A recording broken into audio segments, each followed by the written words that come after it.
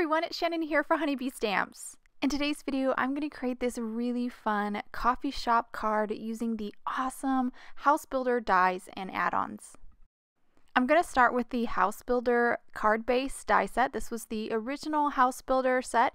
This is the set you need to get to play with the add-ons. Here is the Coffee Shop House Builder add-on uh, Honeycut set. So the dies, I'm going to start with both of these to kind of create my card base. I'm going to use that, that house kind of frame, house die there from the House Builder card base die set to die cut two white pieces of cardstock and a light pink piece of cardstock. This is all going to become kind of the front of my card and my actual card base.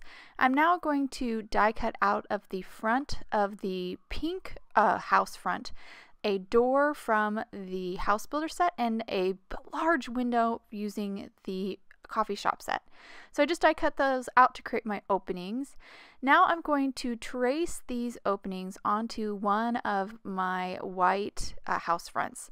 Again, this, this is actually going to be the front of my card and I want to stamp a scene kind of the coffee shop interior scene on this front here and then I'll cover it up with that pink uh, panel on top of it just kind of add some color to the exterior of the coffee shop. So I've arranged several stamps from the coffee shop add-on stamp set and I'm now going to pick them up with my MISTI and I'm going to ink them up with Memento Tuxedo Black. I'm going to do some Copic coloring. This is a Copic friendly ink. So I'm just going to stamp those first set of images there. Now I've arranged a whole bunch more images, including a little cup that I'm trying to place on top of a table that I have there. By placing the cup stamp on top of that table, that allows me to get it into the right position, then pick it up with my MISTI and stamp it first before I stamp the table because I do want to mask that cup so it appears it is on the table, not kind of like behind the table. So just will have a more uh, realistic look. So I went ahead and stamps all those stamps there. Now I'm going to create my masks real quick. So I have the lamp, the cup, as well as a little kind of, I guess, creamer or frother cup. So I've stamped them onto a piece of full adhesive post-it note and I'm just going to fussy cut those out I was trying to be mindful when I designed this card to reduce the amount of masking that I uh, do here.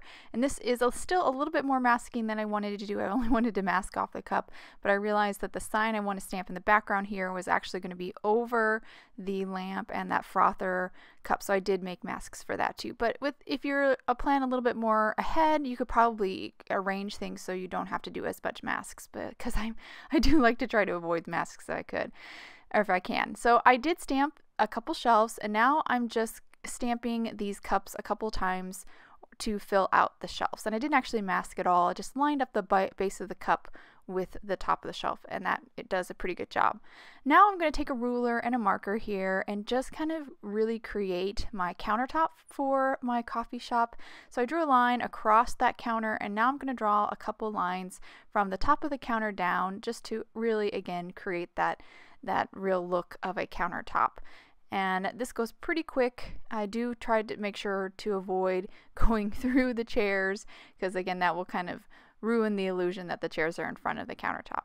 So now that I have my whole scene all stamped, I can start to Copic color. I'm going to start by coloring in the base of my countertop and I'm just going to color this kind of like a, uh, a light wood color. So I have a couple really light tans picked out.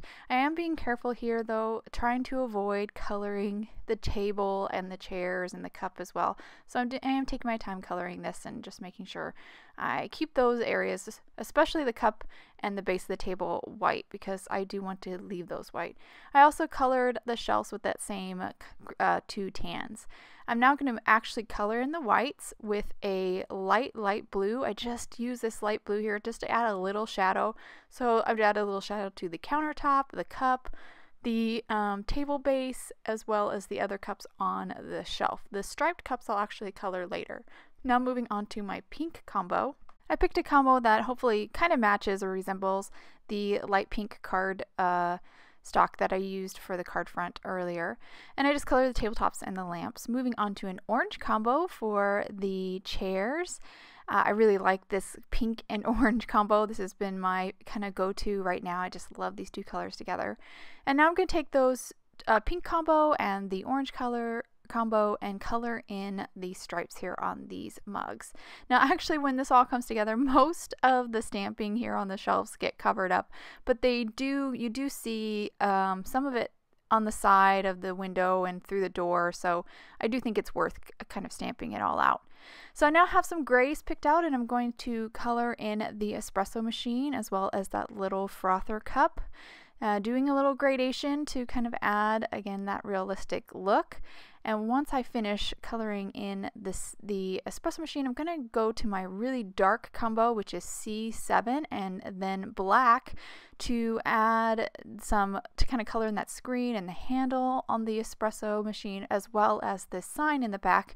That's going to be basically my chalkboard sign my chalkboard menu sign. So once I finish kind of blending that out with my C7 I've actually finished that stamp scene and the um, in the interior. Now I have a couple images that I want to uh, color and put uh, outside of the uh, the coffee shop, so the exterior, which is this little sign here, which again I'm coloring with my dark combo, which is C7 and 100, again kind of creating, creating a chalkboard sign, and I did quickly color that plant there, and I'll color the other one in the similar manner. So now that I have those colored, I'm going to actually heat emboss my uh, words on the sign. So I've grabbed some of the tiny word stamps included in the coffee shop stamp set and I'm going to ink them up in Versamark ink and stamp them on to the sign. I did have to trim off the stamp a little bit just so I could fit the two um, stamps really close to each other, but if you're more patient and don't try to do it all in one go, you don't have to bother trimming them off at all. So I just dipped it into some um, white embossing powder and then heat set.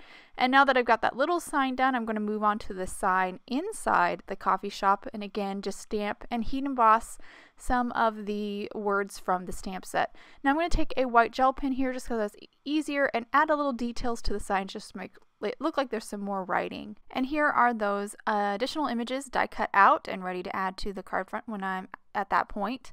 I'm not going to die cut my door. So I die cut the door using some orange cardstock and now I'm going to take this little oval die here, kind of nestle it into the little scored line to die cut that oval opening. And I've also die cut a top and some steps out of some gray cardstock. I'm going to remove that top step and then I will adhere that on to the door. And all the dies that I'm using here for the door are from the House Builder uh, die set, so the original House Builder set. And I even die cut out of some mirrored gold cardstock this little teeny handle handle that I'll add to the door front and I do actually cover it up in the end with the plant. So don't even have to bother with that if you don't want to. So I'm now going to move on to the awning for the or awning or roof I guess for the um, house or for the coffee shop. I die cut it out of some gray or some green and some white cardstock uh, both the little awning that goes over the window and kind of the roof awning. And now I'm going to make these stripes with the two awnings. So I'm cutting the white awning here using a paper trimmer and I'll cut one stripe and then adhere it. Then I'll cut a next stripe and toss it and then I'll cut the next one and adhere that. So I'm alternating. Um, this I just recommend doing it this way instead of cutting them all at once because it's very easy to kind of get mixed up which stripe goes where unless you're really really careful. So it's easy to just kind of I think it's easier to just take your time cut one stripe uh, glue it down, then cut the next one, throw it away, then cut the next stripe, glue it down. I just think it, it's a slower, but it's a more uh, clear process. You won't get mixed up with your stripes.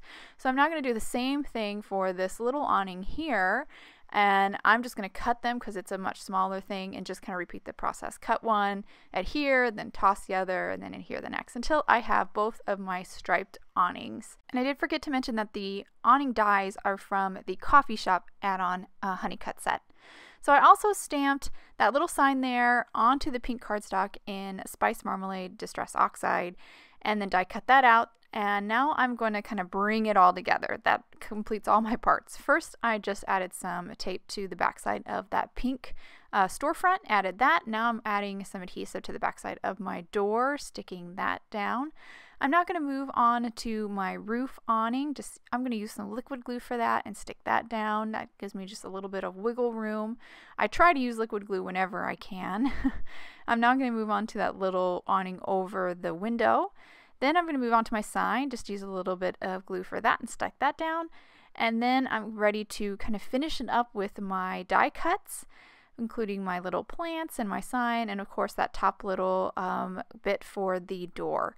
Now I'm ready to kind of put my card base together. So I have my card front done, and I need to adhere this hinge, which I die cut from using the House Builder uh, card base die set out of some heavyweight cardstock and now I'm going to add 1 8th of an inch score tape to both sides.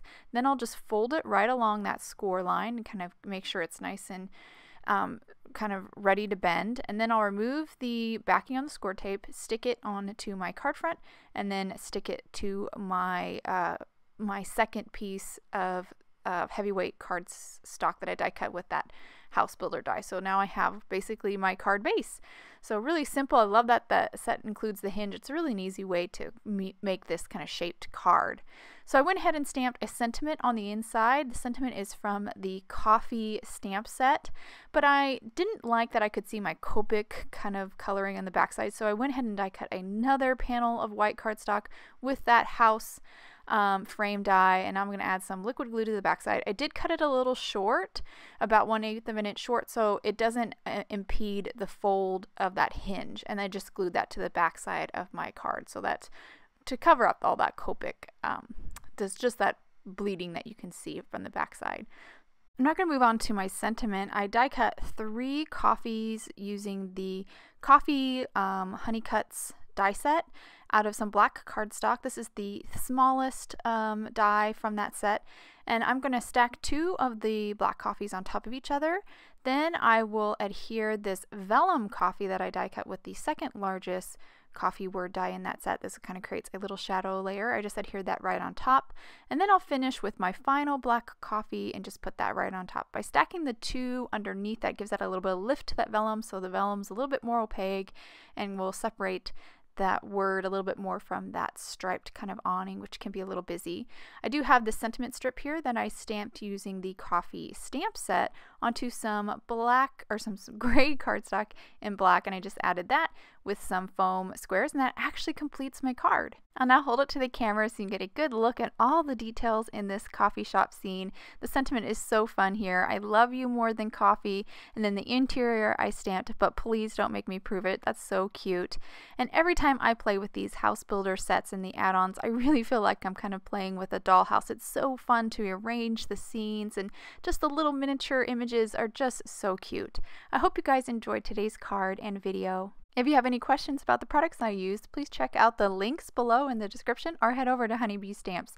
Thank you so much for watching and I hope you have a wonderful day.